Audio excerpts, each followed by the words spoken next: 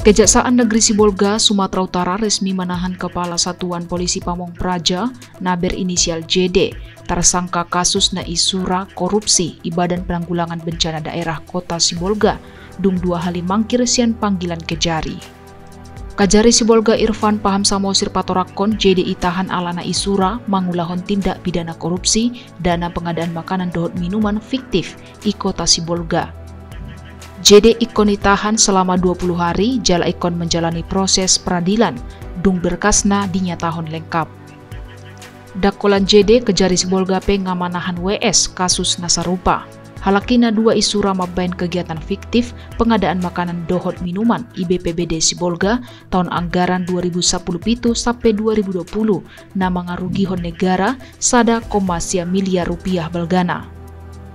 JD Dohot WS dianggap sebagai pihak na paling bertanggung jawab i kasus korupsion. Nata pedang tertutup kemungkinan adong tersangka na asing. Ma dulu, ya. Kan penyidikan itu hari pertama, 20 hari pertama. Tapi ini tempatnya di mana bang? Di lapas? Di lapas Tuka.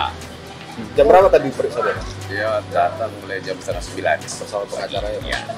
Langsung dilakukan. Ah, Kira-kira memang masih Kasusnya sendiri gimana nih? Maksudnya sama dengan kasus yang pertama itu soal Singkoma, karena yang mengadaan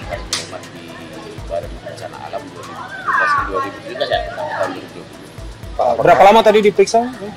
Dia tanggal sembilan berapa lama? Empat jam, lima jam ya? 5 jam ya. Nah, Oke. jam. Artinya eh, ini ini untuk eh, pemanggilan kedua ini tadi ya. Pemanggilan ketiga. Modus operandi JD Dohot WS ibagasa lama buat uang di negara sada komasia M, ima dot cara membayar pajak 12% tu daerah asaat tar adong kegiatan makanan dohot minuman, HP swadong, manang na idokon fiktif. Kuitansi na ipake ni halakipe, kuitansi bodong.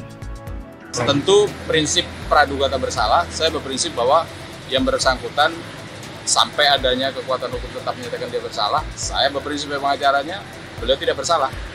Prinsip. Eh, pengunjukan abang sebagai pengacara ini eh, tersangka JD ini eh, dari pemerintah kota. Oh tidak, penunjukan saya murni karena ini profesional saja. Saya ditunjuk oleh pihak Pak Johan Daule dan keluarga untuk mendampingi beliau.